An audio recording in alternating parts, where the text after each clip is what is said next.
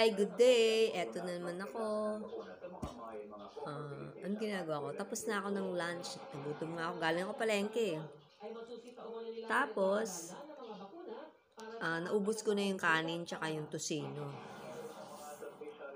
Ano eh, mahirap kasi kumain pagka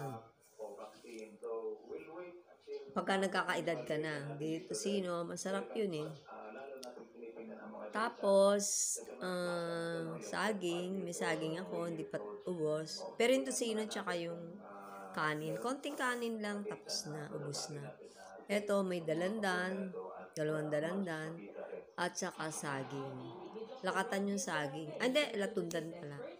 Tapos ito, napapansin ko, ah, malakas ang ano ko dito eh. Memory. Wow. Siyempre, nagkakaedad na ako, no? Kailangan palakasin ko yung memory ko.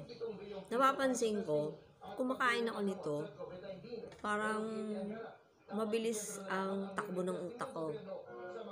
Hindi ako, hindi mahina ang memory ko.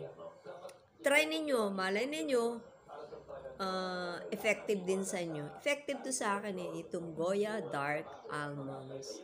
Ang sarap. Okay? Bye-bye. Bye-bye.